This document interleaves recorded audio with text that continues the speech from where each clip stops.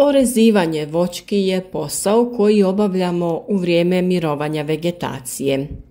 Najbolji period za orezivanje voćki je zimski period, ali nekad se može krenuti i ranije. Bitno je samo da voćka ulazi u fazu mirovanja, da cirkulacija u biljci usporava. Orezivanjem se krošnja voćke prorjeđuje i na taj način kontrolira rodnost, ali i kvaliteta plodova. Pored toga, smanjenjem broja grana u krošnji povećava se osunčanost listova, plodova, ali i smanjuje mogućnost pojave bolesti.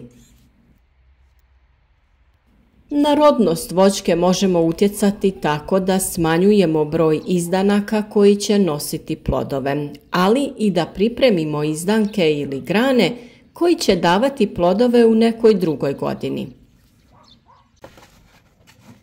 Kod jako intenzivnih sorti voćki orezivanje je jako bitno, pa se obavezno mora provoditi.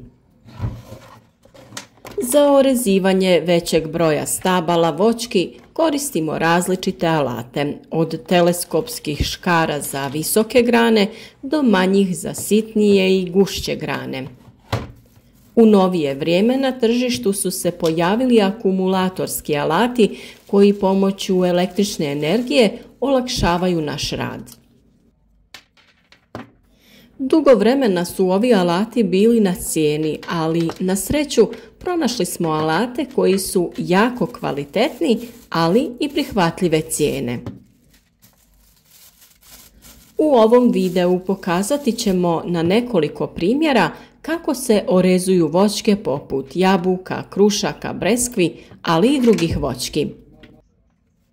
Usput ćemo testirati naše nove škare za orezivanje voća proizvođača Keptek. Ove škare dolaze sa dvije baterije koje smo jako brzo napunili i sa nestrpljenjem krenuli na posao. Škare su odlično dizajnirane i dobro leže u ruci, a ni težina im nije velika. Nakon paljenja škara potrebno je dva puta pritisnuti taster za rezanje, nakon čega su škare spremne za rad. Za duži vijek ovog alata i same oštrice potrebno je redovno podmazivanje i čišćenje oštrice. Za podmazivanje dovoljno je koristiti bilo kakvo ulje, a najbolje je mehaničko ulje za podmazivanje alata. Ubrizgajmo nekoliko kapljica ulja te prebrišimo oštricu uljem.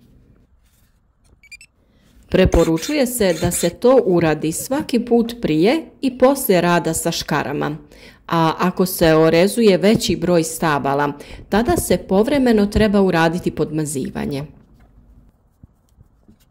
Samo orezivanje sastoji se od uklanjanja izdanaka koji se ukrštaju sa drugim granama ili zasjenjuju neke druge grane. Nakon nekoliko hladnih noći kad se temperature spuštaju do nule i pojavom prvih mrazova list opada sa grana. Tada je lako uočiti grane koje treba ukloniti. Naravno, svako stablo voćke je priča sama za sebe i teško je postići da na dva stabla trebamo uraditi rezidbu na isti način. To je moguće samo u velikim plantažama i kod voćki koje se uzgajaju na špaliru. Za svaku voćku postoje uzgojni oblici koji omogućavaju najbolje prinose i najveću otpornost na bolesti. Kod jabuke se najčešće primjenjuju uzgojni oblici vitko vreteno i vretenasti grm.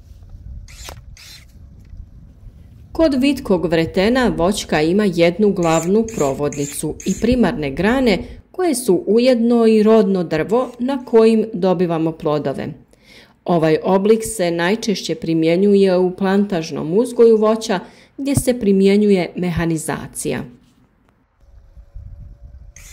U prvoj godini provodnica se skrati na visinu oko 80 cm kako bi se potaknuo razvoj postranih izboja.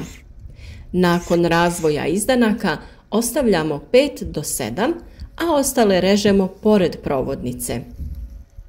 Biramo izdanke spiralno raspoređene te im uklanjamo cvjetne pupove, a kada narastu oko 40 cm usmjeravamo ih i savijamo pod uglom od 45 stepeni. U drugoj godini voćka se veže za armaturu te se provodnica skraćuje do prvog jačeg izdanka, ako se nije dovoljno razvila. Bočne izdanke ne skraćujemo, već ih ostavljamo. Kada krene vegetacija, uklanjamo sve izdanke koji su konkurencija provodnici. U narednim godinama uklanjamo i izmjenjujemo grane koje su dale plod sa onima koje će plodonositi u narednim godinama. Često se koristi i kombinacija uzgojnih oblika, a za hobi uzgoj gdje se ne koristi mehanizacija najčešće se primjenjuje uzgojni oblik šalica ili vaza. Kod ovog uzgojnog oblika sadnica se skraćuje na 80 cm u prvoj godini, nakon čega se ostavlja oko 5 grana koje oko voćke formiraju grane u obliku šalice ili vaze. Kod ovog oblika sunčeva svjetlost prodire u središte krošnje, ali ipak prinosi su manji, ne preporučuje se kod plantažnog uzgoja gdje se teži što većim prinosima. Kod orezivanja i formiranja krošnje često se pravi greška gdje se donje grane skraćuju, a one pri vrhu ostavljaju duže. Zbog toga na vrhu voćke plodovi budu veći, pa u narednim rezidbama se te grane još više produžavaju zapostavljajući donje grane. Nakon nekoliko godina donje grane ili budu uklonjene ili zbog manjka svjetlosti same odumru. Tada dobivamo plodove na većoj visini, ali i sama krošnja se diže, što poskupljuje berbu, ali i druge radove poput orezivanja. Upravo zbog toga treba težiti tome da su pri dnu krošnje grane veće dužine, a da se podizanjem prema gore dužina grana smanjuje. Ista je situacija i kod orezivanja kruške. Nadamo se da će u narednoj godini biti vremenski uslovi bolji bez mraza u fazi cvjetanja. Rezedba kruške slična je kao kod jabuke. Sve mlade izdanke koje prolaze vertikalno kroz krošnju treba ukloniti. Ukloniti ćemo i grane koje zasjanjuju druge i tako sve do vrha. Pri dnu krošnje formirati ćemo duže grane, dok ćemo pri vrhu grane smanjivati. Vrh skraćujemo oko visine do koje možemo dosegnuti u berbi plodova. Kod šljive, trešnje, breskve i drugih voćnih vrsta preporučuje se formiranje šireg uzgojnog oblika tipa vaza. Uklanjamo unutrašnje grane i pritom pazimo na količinu rodnih pupoljaka. Ove voćke su odlično formirale rodne pupove i naredna godina bi trebala donijeti velik urod. Smanjivanjem grana sa rodnim pupovima dobiti ćemo manji broj plodova, ali veći kvalitet i krupniji plod. Grane koje su predugačke skraćujemo na oko jednu trećinu njihove dužine. Ako je na nekoj grani velik broj rodnih grana, trebamo uraditi prorjeđivanje da bi držali pod kontrolom količinu uroda. Na ovaj način se sprečava lomljenje stabla, ali potrebno je pripremiti voćku i za narednu godinu. Ako voćka ima previše rodnih grana, velike su šanse da u narednoj godini donese jako malo plodova. Pored rezanja grana, u ovoj fazi se neke grane mogu saviti i dovesti u položaj u krošnji gdje nemamo velik broj grana. Ovim postupkom se dobiva oblik krošnje koji je najpogodniji za uzgoj. Kao što smo rekli, vrijeme rezidbe je od vremena opadanja lista pa sve do kretanja vegetacije. Mi preporučujemo da se rezidba radi što kasnije. Naravno, ako se radi o velikim plantažama, potrebno je na vrijeme krenuti sa orezivanjem da bi se na vrijeme rezidba i završila.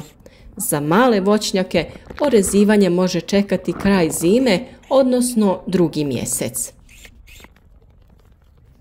Ako ste ipak požurili sa rezanjem, nemojte zaboraviti i zimski tretman voćki protiv bolesti.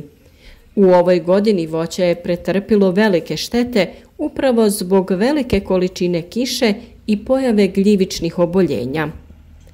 Sada kada nema lista i kada je vegetacija pri kraju, treba uraditi tretman da bi se spriječio razvoj bolesti u narednoj godini.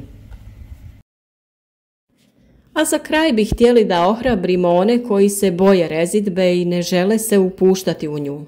Kažu da svako ko orezuje griješi, a najviše griješi onaj ko ne orezuje.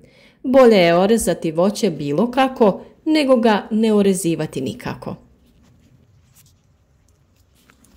Sa ovim kadrovima našeg voća pozivamo vas da podržite naš rad i da ovaj video označite sa like. Napišite nam u komentaru od kuda nas pratite, koje voće vi uzgajate i da li sami orezujete voćke. Ako imate nekih pitanja, slobodno nam se javite u komentarima. Rado ćemo svi zajedno razmijeniti iskustva da bi učinili uzgoj voća lakšim i uspješnijim. U opisu videa ostaviti ćemo link preko kojeg možete naručiti ove praktične škare koje su u potpunosti zadovoljile naše potrebe kada je u pitanju orezivanje naših voćki.